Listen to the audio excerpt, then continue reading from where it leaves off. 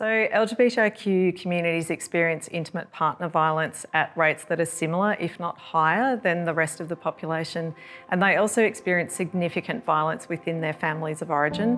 And really, not enough attention, research, and resources have been paid to understanding this violence. And we really needed a project that would look at the underlying causes of the violence, the deep social drivers, and how we can act against those to stop this violence from happening in the future. Our evidence guide, Pride in Prevention, brings together the available evidence uh, and understandings that we have around the drivers of LGBTIQ uh, family violence.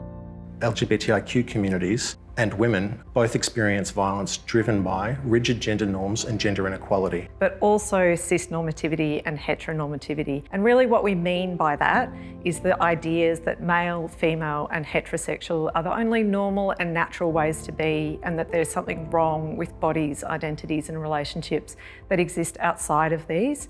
And what we looked at is how that drives violence for LGBTIQ people, but also how it's related to the drivers of violence uh, for women. A common problem suggests a common solution.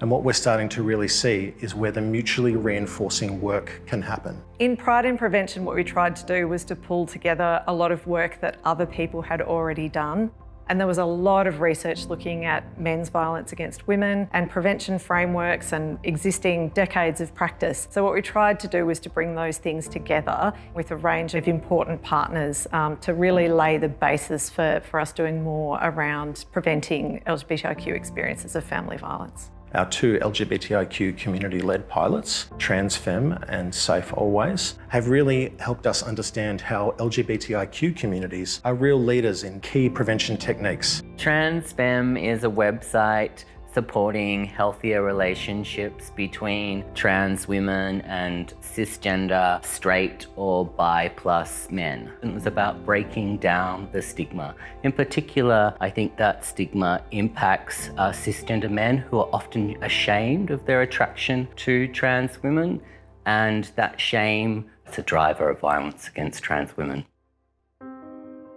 So this project, Safe Always, is scaffolded off the Pride in Prevention toolkit that was developed by Rainbow Health Victoria. What we wanted to do was address at the top end some of the misconceptions. So we wanted to have really ordinary, everyday people pictured in the campaign. So what people will see when they look at the campaign is everyday couples doing everyday things. And then there's a statement in the campaign about a piece of family violence that happens after that photo or that picture has happened. Trans women have been asking for these resources for decades.